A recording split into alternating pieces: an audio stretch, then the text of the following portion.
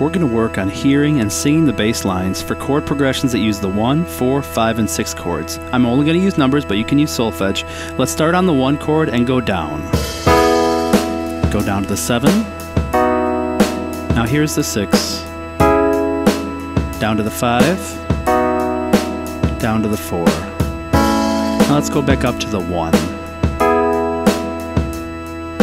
Now we're going to sing the 7 and bring it up to the 1.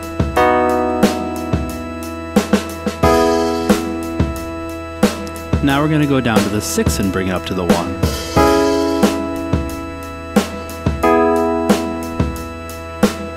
Down to the 5 and bring it up to the 1.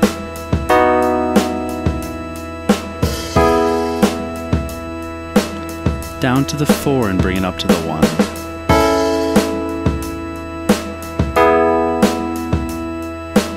Okay, now we're going to go back down to the 4, up to the 1, down to the 5,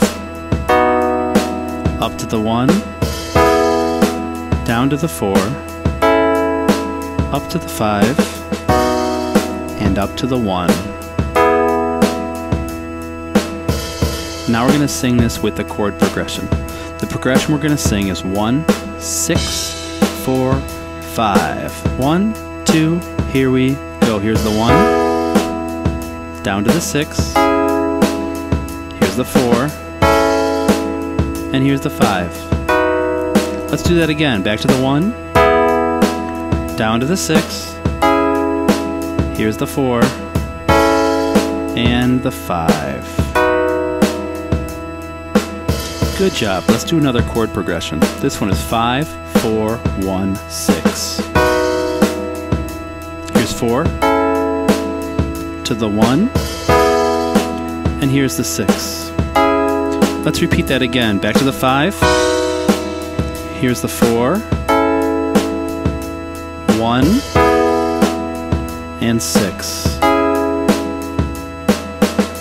Okay, now we have a mystery chord progression that's four chords long. I want you to sing along with the chords and the bass, and you're going to figure out what numbers are being played. Here we go.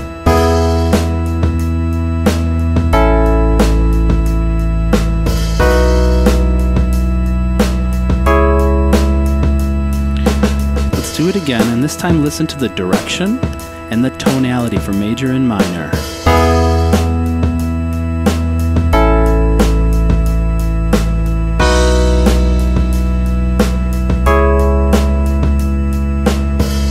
Alright, that chord progression was 1, 4, 5, 6. Let's sing it together. Here's the 1. Down to the 4. Here's the 5. Then up to the 6. Let's end it with one more one. Great job. I hope this helps you hear some chord progressions and music that you listen to. Practice up, good luck, and we'll see you in the shed.